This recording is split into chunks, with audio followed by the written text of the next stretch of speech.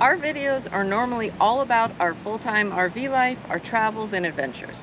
But in this week's video, we ask you to join us for a few moments to honor the men and women who sacrificed their lives for our freedom. We hope you have a great Memorial Day weekend with your family and friends. But please don't forget to pause for a moment and remember those who made it all possible. Some time back, I received, in the name of our country, the bodies of four Marines who had died while on active duty. I said then that there is a special sadness that accompanies the death of a serviceman, for we're never quite good enough to them.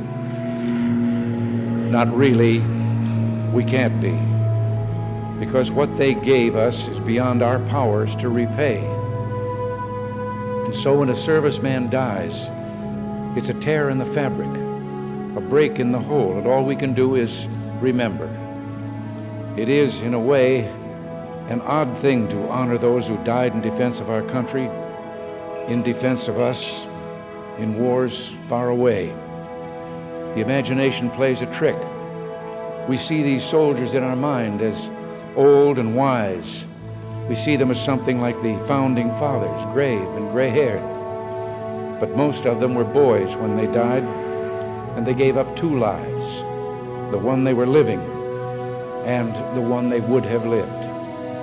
When they died, they gave up their chance to be husbands and fathers and grandfathers. They gave up their chance to be revered old men. They gave up everything for our country, for us. We owe them a debt we can never repay. All we can do is remember them and what they did and why they had to be brave for us. We still think of you. You're still with us. We never got over you. And we pray for you still, and we'll see you again. We'll all meet again.